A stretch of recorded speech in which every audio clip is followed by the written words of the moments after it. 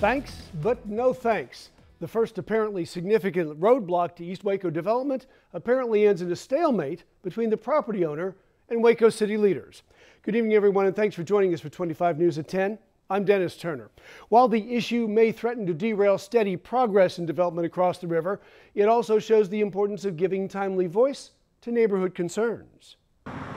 For weeks, this block showcased the shining hope for Elm Avenue development a gleaming new market and restaurant. Side by side, beautiful sidewalk improvements and complimentary railings seem to offer a chance for Elm to reclaim its place as one of Waco's most important commercial centers. Nice job, Council. But it all seemed to unravel at an August City Council meeting. Our original TIF application for the market did not include restrictions against the roll down doors. Dr. Nancy Grayson complained Waco leaders came last minute wanting a change in the grocery store Grayson had planned to open. Council member Andrea Barefield admitted as much during the meeting.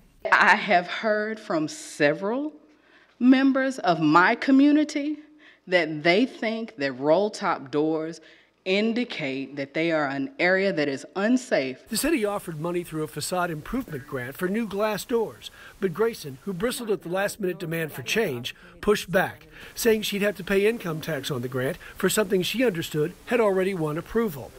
No one argued that, but city leaders stood firm in wanting the change, and Grayson stood firm in her opposition. It's the neighborhood that you've hurt. We're officially withdrawing our TIF amendment application. Something that surprised city leaders.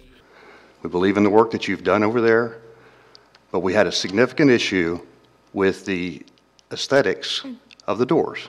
Grayson says she has no plans to open the much needed neighborhood market and will now consider selling the building. I think the community is really disappointed in the loss of that important potential business um, and just kind of looking forward to the next opportunities.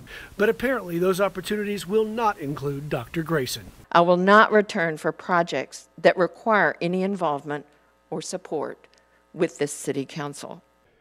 In the interest of providing more community input, the city and the engineering firm responsible for Elm Avenue improvements will hold a meeting seeking comments on the demonstration block, which we showed you between Preston and Turner, and whether the community wants to see similar improvements from the river all the way to Forest Garrison. Now that meeting takes place at 5.30 Tuesday, September 23rd at the City Multipurpose Building on the Quinn campus.